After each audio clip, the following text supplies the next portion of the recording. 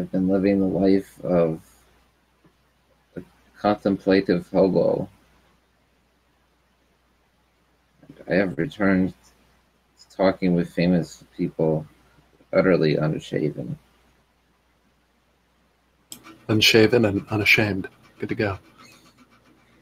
How are you doing, Ken? I'm uh I no longer have a physical body. I'm just a disembodied voice. So there's that. Did you watch that latest upload? Did you take things too far? Who's upload? The latest upload where Courtney was talking about becoming one with the universe. You don't become one with the universe. You're already it. We can't get away from this shit.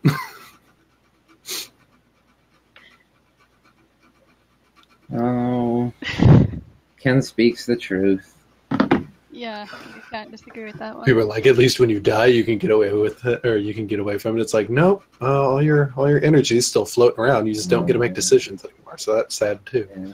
yeah, my TI keeps trying to think it can like separate itself Although, and and be a separate observer, but if by chance uh, there is some sort of dimension that correlates with consciousness, and I stress if, uh, then perhaps it'll. I mean, it basically sounds like Type Five heaven. Anyway, you just gotta leave the body behind and Only type yeah, fives allowed. that is type five heaven. I mean, in some ways, it kind of sounds like Type Nine heaven in a way, but Well, it also it's all actually it's kind of the opposite of Type Nine heaven. Type Nine heaven's like I don't know. I don't no. I don't want to draw that distinction because I think there's other factors contributing to it, but um, I don't think it's necessarily a dichotomy between Type Nine and Type Five. But uh, five and nine have their similarities. they're, they're they're both a little. the- Their their jimmies got rustled at the whole having to exist thing. Yeah.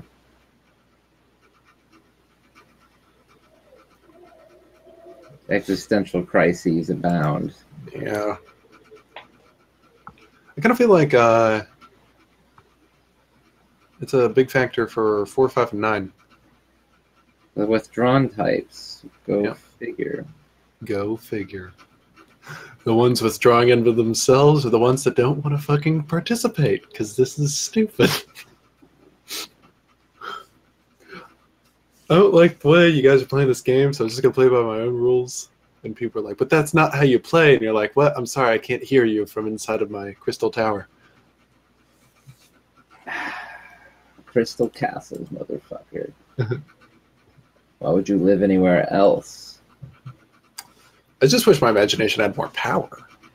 Elsie, why live on a farm when you can live in a crystal castle in the sky with lasers?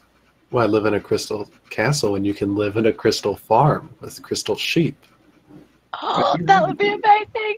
Crystal lambs. They're not only would their hooves be sharp, but they would be able to cut through anything. Isn't that diamonds? Even though? my depression. is, that is diamonds.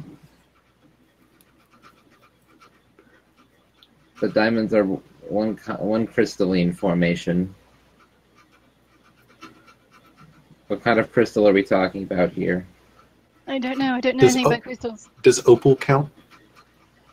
Topaz? I mean, we could have a topaz crystal castle if we took like all the world's topaz.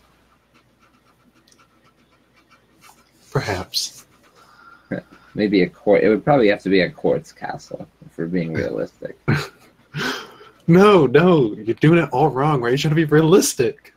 I mean, you know, I mean the material costs are just. It- yeah, if we're being realistic, then, then there's like zoning laws and all this other shit. And by the time we get into all that, then it, no, it's no longer fun to have a crystal castle. God, why are we on Earth again? Yeah, this with, all is these, with all these rules.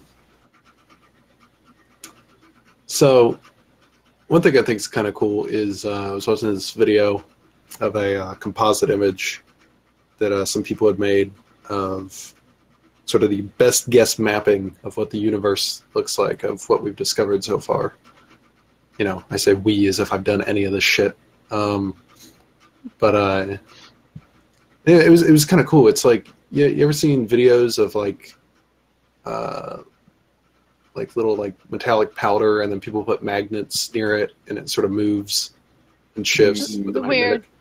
Wobbly stuff, or Yeah, it forms like sound lines of flux and whatever. Yeah, it's Yeah. like that mapping they had was that Yeah. just with galaxies, and I was like, that's pretty dope. Right. Are you going to show us?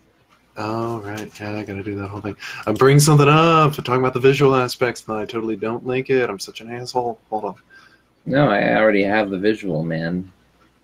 I already got the visual. I already got it. Yeah, yeah, yeah, you already got it. I can, I can NI with the best of them. Yeah, it's more like I would imagine that's that's S in a way. I got off that uh that No, Facebook. dude. no. If you're trying to, if you're visualizing something in your head, it has nothing to do with anything you're actually seeing, man. Sometimes it may have to do with what you saw. Right.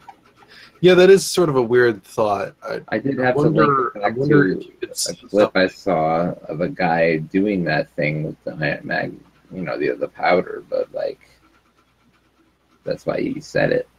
I, w- I wonder what an intuitive visualization would look like if you never had any sensory experience. Didn't Carl Jung write something about that, like the human archetypes and what and what you would end up generating in your mind if you have like no outside, mm, Stimuli. yeah, whatsoever. Like the fetus would just eventually make uh, images. Yeah, the images would be aspects of the archetypes, not the archetypes themselves. It'd be like Oh, I must have misread then. Like I no, I, I think like the images.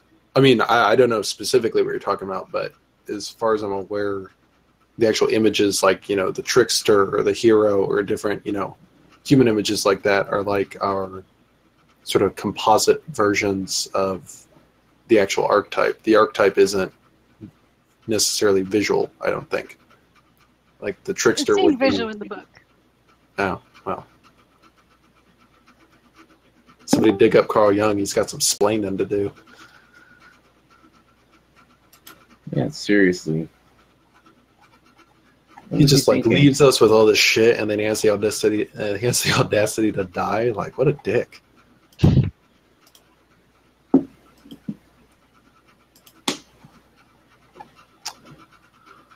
Hey, Spacels, you think you're uh, you think you're in the four five nine tri type?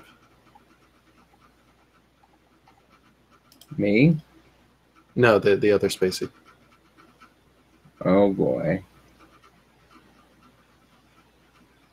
I'll just wait then. Oh, god damn it! You beat me at my own game.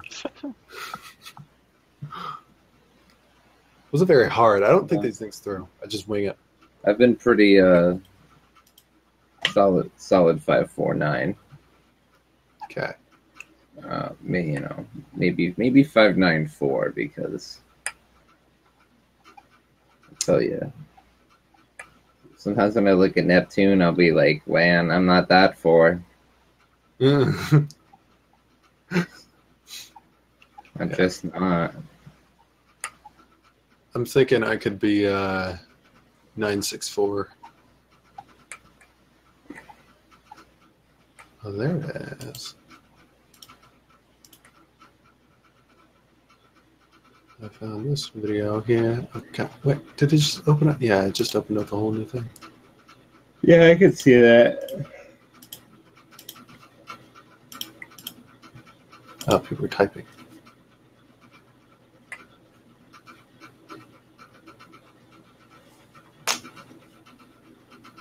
Carl Jung's his name. Yeah, I think five nine four combination is about as de- yeah, it's as detached as you get from reality. You seem awfully here. Me? Yeah. I mean, like, I feel like the most detached you could get from reality is, like, you know, not having been born or, like, being dead. Well, you know, in in in spirit, Yeah. we're, de- we're detached. You know, Actually, here's my thinking. If you were dead, I think that's the closest you'd be because there are ah shit. Then there's the question of who's you. Never mind. This is a whole can of worms. Well, I am me, but Spacey That's an opinion. Spacey is Spacey, and Steve is Steve is also a construct. Steve has only ever been Roger. You shut your whore mouth. right? If I were to say I am Steve, well, that would that would just be my opinion. I know I am me, but I I don't know what me is. That's probably your most deeply rooted logical fallacy. But yeah.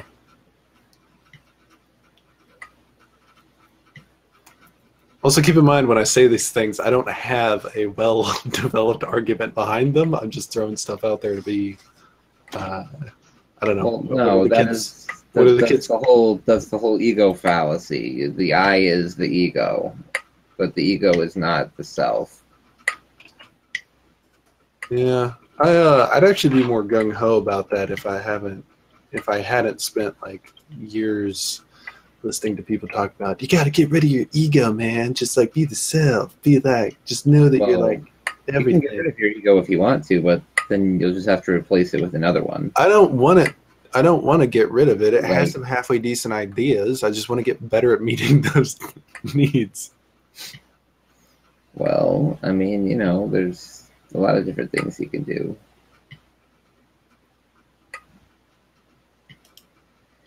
Fung. The point is, Beth, you should keep that one. I've been trying. Listen, I've been trying to make myself crazy for years, Ken. The problem is I keep rationalizing things. I can't stop rationalizing things. I can't stop either. That's the problem here. What's so bad about rationalizing things? Because when you're if you're rationalizing, you're you're making sense of shit. Isn't that a good thing? No, I would like to finally stop making sense of things. the more time you're The more time I spending spend, yeah, Yeah. trying to make sense of things, the less time I'm spending doing anything that's actually useful. Oh, so you don't just do it like on the fly or anything? I mean, I do it on the fly sometimes.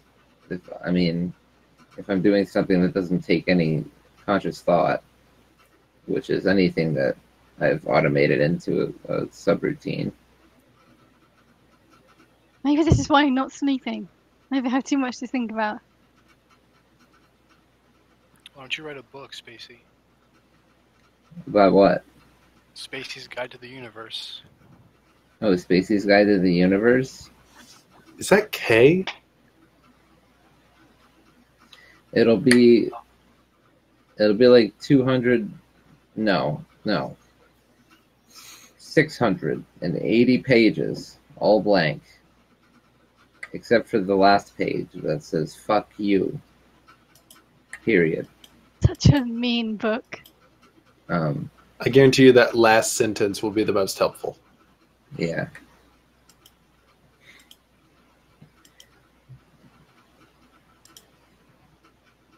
No. Spacey's Guide to the Galaxy. For sure. Or you can choose a topic like Richard Dawkins, the INTP. What do what does anyone care about Richard Dawkins? I love how he's managed to make himself like a Twitter anti-celebrity. He uh, because he's the father of memes. That's why. Fucking Richard Dawkins. I can't. He fucking came up with the term meme, but the internet managed to fucking ruin it by the year. And then Christopher Hitchens had to go and die. And now his brother Peter Hitchens was taking the reins. Taking the reins. That's kind of like saying that mustard's going to take over ketchup. It's not quite the same thing. Well, It's not like it's a different kind of definitely. ketchup. yeah, he definitely hasn't taken the reins of atheism, but he's uh, put himself more in the public limelight. Is he attempting to make hitch slaps? Uh, he is a very conservative man. Very conservative.